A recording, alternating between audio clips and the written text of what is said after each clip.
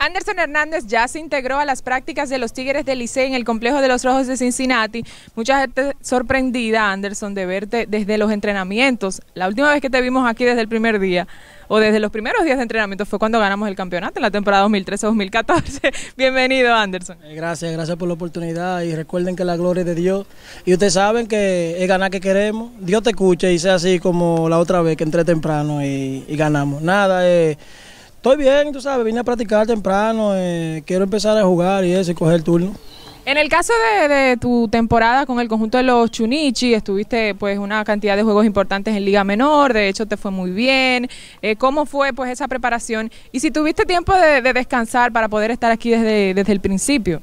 Tú sabes que yo soy una persona que, que está impuesta a jugar todos los días. Y sí, yo bajé, me bajaron un tiempo, subía, bajaba, y, pero lo que cogí fue 200 y algo de turnos, ¿entiendes? Yo no, no cogí los turnos que yo esperaba.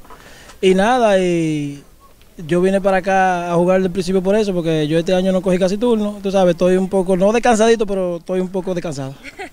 Es tu, te- tu tercera temporada allá en Japón, ¿verdad? Con el conjunto de los Chunichis, ya, ya la que terminó. ¿Qué, ¿Qué enseñanza deja la liga japonesa? ¿Qué aprendizaje extra del béisbol?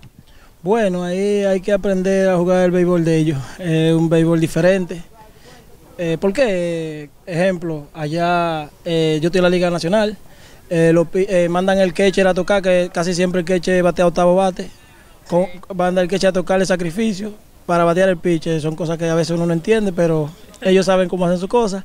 Y se toca en cualquier situación. hacen muchas jugadas. es diferente a la pelota que jugamos aquí. Pero ya el primer año fue un poquito más difícil para ti, pero ya en una tercera temporada ya tú llegas allá como un club, ¿verdad? No, sí, sí, ya el primer año fue el más difícil, después ya el segundo y el tercero, gracias a Dios, ya yo sabía dónde estaba todo, sabía lo que tenía que hacer, eh, ya entendía, entendía el juego de allá mejor, eh, ya conocía un poco los pitchers y eso.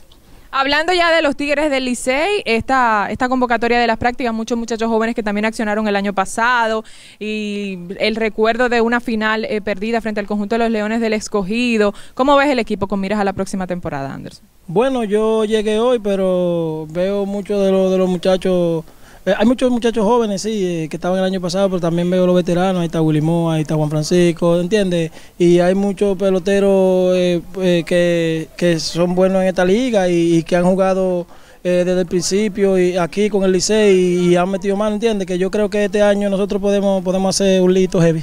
Un lito heavy.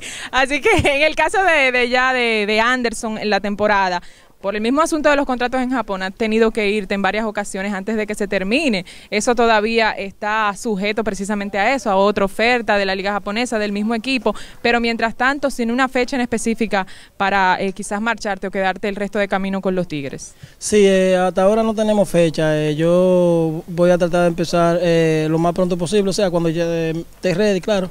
Y nada, tratar de terminar y con Dios delante, el campeón. Tu presencia aquí es una inspiración para esos muchachos. Ver a Anderson aquí desde las prácticas, definitivamente, todo un veterano eh, de los Tigres del Licey. Dale un mensajito a toda la fanaticada azul. Nada, que sigan apoyándonos y como siempre, Dios mediante nosotros vamos a hacer lo posible para, para ir eh, por lo menos a la final primero y tratar de ganar el campeonato, que yo sé que esos fanáticos están deseando ese- esa, esa, esa corona. Y en Japón, ¿puedes decir eso mismo? Eh, no. Seguimos con más de Licey TV. En Japón se puede...